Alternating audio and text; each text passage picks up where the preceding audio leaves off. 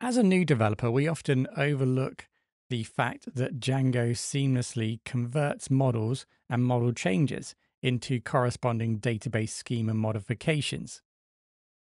Through our learning journey so far, we've come to understand that the migration process involves two essential steps make migrations and migrate.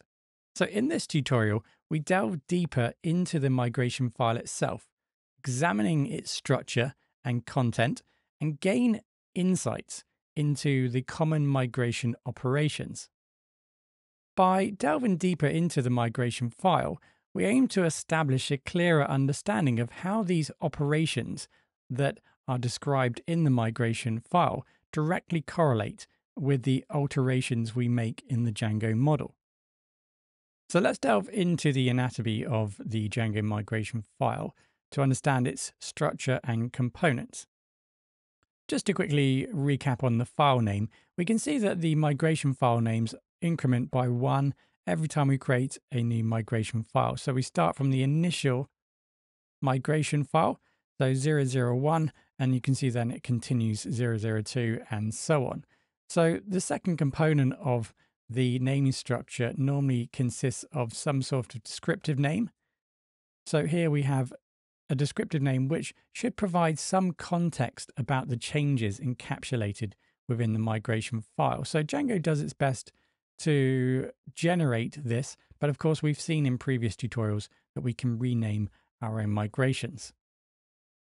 The migration file begins with the necessary imports to access Django's migration framework and other dependencies. So common imports include the from DB import, import migrations, and then possibly imports related to models or other dependencies specific to the migration.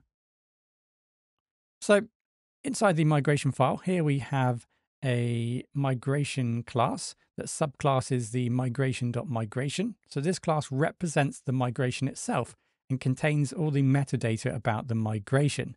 Here you can see that we have two sections, the dependencies and operations. In addition to that, we might also have some other custom logic. So we might define our own functions within this migration class. So first of all, the dependencies, which is normally defined first. The dependencies attribute specifies dependencies between migrations. It's essentially a list or of tuples indicating the apps and migration names that this migration depends on. So Django uses this information to determine the order in which migrations should be applied. The operations attribute of the migration class lists the database schema operations to be performed by this migration. So these operations might include creating, altering, deleting database tables, fields, indexes, constraints, and other schema related tasks. Now, in more advanced cases within the migration class, you may find or may start to create some additional methods so this is going to define some custom operations or logic specific to the migration. So these methods are invoked during the migration process to perform specialized tasks uh, beyond the standard schema operations.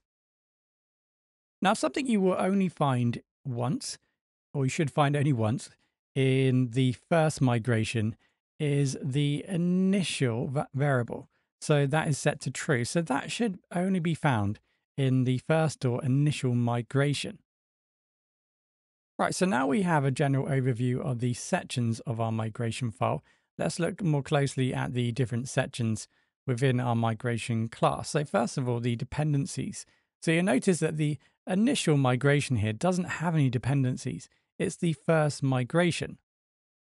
Remember here, the dependencies is really providing a mechanism for managing the order of migrations and ensuring that the database schema changes are applied in a coherent and consistent manner across different environments. So here you can see in the second migration, there is a reference point to the first migration, indicating that before we run this migration, the second migration, we first must run the migration that's defined here in the dependencies.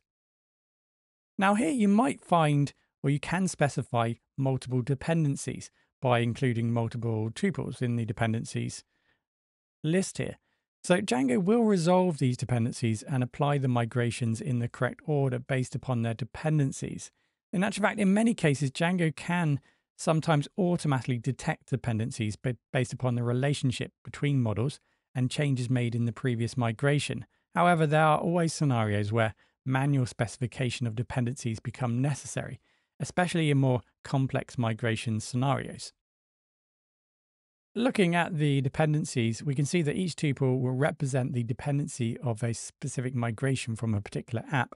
So the first uh, element here of the tuple is the name of the app, and then the second element will be the name of the migration. So that brings us down to operations. So there is a, a clear correlation between the changes that we've made in the model and then the operations that have been described here within the operations list. So whenever we make a, a change to the model, for example, we will find there will be a corresponding operation to correlate and to make those changes in the database. Now, this is a very interesting concept the ability to be able to define changes within our models file, and then for Django to actually then be able to determine what type of operations are required to perform those changes on the database. So Django determines changes made in the database model by comparing the current state of the model and its previous state. So it achieves this by examining the models.py files in the project apps and then compares them with the records stored in the Django migration history. So here, um, let's imagine we start a new project again. We run and create an initial migration. So what we've done, you can see in this initial migration for this inventory app, it's a clear record of everything related to the all the tables that have been defined within our models file, including the fields um, and the field attributes. So whenever we make a change to our models, Django is able to look at the previous migration and check the current model against the migration file. So if we were to, let's just look at the description here in the attribute table. If we were to go into our models and change that, if we can quickly find it, the attribute, if we were to change something here, say null to false, it could then compare that to the initial migration and determine that a change potentially has been made. And therefore, go ahead and create an operation which describes that change so it can then be migrated and performed on the database. The changes can be made then on the actual database. So within this process of comparing um, the model with the migration record, Django will create operations. So for each change, an operation would be generated. So that's what we're looking at here in this example migration file. Within the operations, we have here, for example, a create model. So it looks like potentially we created a new model within our models file. Django has detected that and then is then going to create a new model using migrations.create model. Now notice that there are multiple types of operations. So here we have migration.create model. Here we have migration.add field and alter field and so on.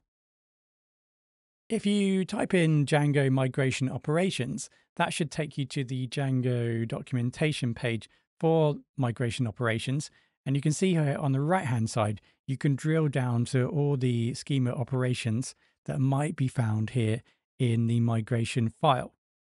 So instead of writing raw SQL statements directly in the migration files, we use schema operation classes provided by Django Migration Framework. So these classes provide a higher level of, of, of abstraction, if I can get the words out, higher level of abstraction, making it easier to define and manage database schema changes using Python code. So behind the scenes, Django translates these schema operation classes into appropriate SQL statements for specific database backends, be that PostgreSQL, MySQL, SQLite. So this abstraction allows Django to support multiple database backends without requiring developers to write specific SQL code.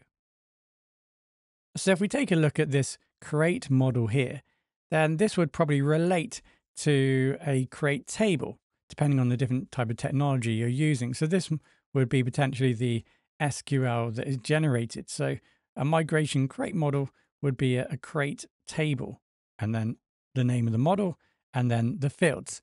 So loosely speaking, that's how it's going to then be translated into SQL. And by utilizing these classes, it creates a consistent approach and a clear way of translating this type of operation into an SQL operation. Now, eventually, our database might scale or get to a point where we want to use more advanced features of our underlying database technology. So, as our database scales, grows, and we think more about performance and other advanced operations, Django does provide the migrations.run SQL operation. And this allows us to execute raw SQL statements directly against the database within a migration. So, this operation is particularly useful for performing database operations that are not directly supported by Django ORM or other built in migration operations. We did mention that we were able to create custom methods or logic within the migration class. Now, to initiate them, we would potentially call it from the operations list. So here we had a custom method called custom function, and you can see we are calling that through the migrations.run Python operation, and then we are defining the custom method. So that would be a typical approach for calling custom methods or logic within the operations list. So hopefully that's given you a deeper understanding of the anatomy of the Django migration files and a surface level overview of how Django would actually determine or identify changes in the first place. From that perspective, we can really see the importance of the migration file and how Django requires it to actually determine if changes have been made in the model.